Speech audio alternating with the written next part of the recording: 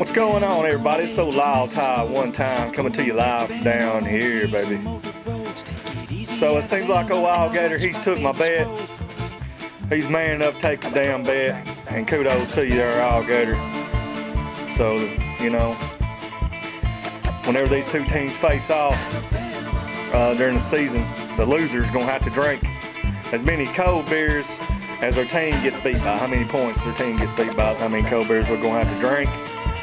And uh, I'll tell you one thing, one of us is gonna be some a drunk motherfucker. We're gonna be somebody's gonna be tore the fuck up. Somebody's gonna be fucking hurt the next morning. Not just because their team got beat, the old noggin's gonna be hurt. But uh, I found this new this new cold beer and I thought, you know, maybe we could try it. Uh, you know, I don't know if you've heard of it. It's, it comes from an old Chattanooga native. Seen the commercial on it the other day. So uh, check it out. What'll it be, guys? I'll have a scotch on the rocks. I'll have a Samuel Adams. I'll have a Samuel Jackson. You know something? I'll have a Samuel Jackson too. Me three. Three Samuel Jacksons coming right up. Good motherfucking choice, motherfucker. Samuel Jackson, named painstakingly by me, Samuel L. Jackson. It'll get you drunk. You'll be fucking fat girls in no time.